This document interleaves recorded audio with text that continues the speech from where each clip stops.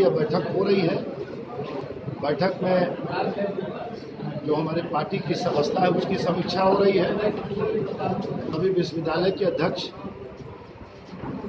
अपना अपना राय दे रहे हैं। और सबसे बड़ी बात है कि इस पूरे प्रदेश में छात्र जनता दल यूनाइटेड ने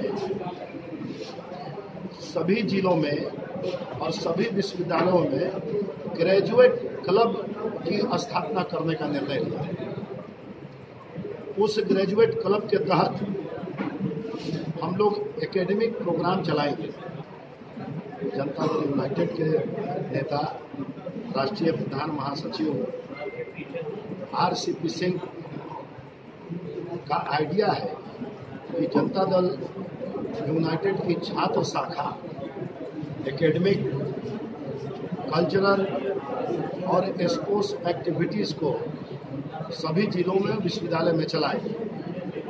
तो आज यह निर्णय इन लोगों ने लिया है कि हम इन तीनों एक्टिविटी को चलाने के लिए ग्रेजुएट क्लब बनाएँगे।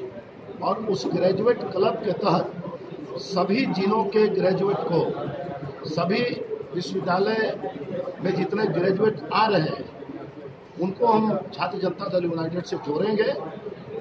और सबसे पहले विश्वविद्यालय स्तर पर आईएएस की परीक्षा आईपीएस की परीक्षा, तथा यूपीएससी की परीक्षा, मेडिकल इंजीनियरिंग की परीक्षा, जिसमें हमारे बिहार के लाखों छात्र भाग लेते हैं, उनको हम एकेडमिक हेल्प प्रदान करेंगे। तो हमारा जो प्रयास है, सूबे में ग्रेजुएट क्लब बनाकर, राज्य में एकेडमिक एक्टिविटीज़ तो आज पटना विश्वविद्यालय छात्र संघ के चुनाव में छात्र जनता दल यूनाइटेड ने कड़ी मेहनत करके आज इन दोनों पद पर सफलता हासिल की है और भविष्य में हम बिहार की सभी विश्वविद्यालयों में मज़बूत रूप से लड़ेंगे। विजन को डॉक्टर रणवीर नंदन सदस्य बिहार विधान परिषद, प्रभारी छात्र जनता दल यूनाइटेड।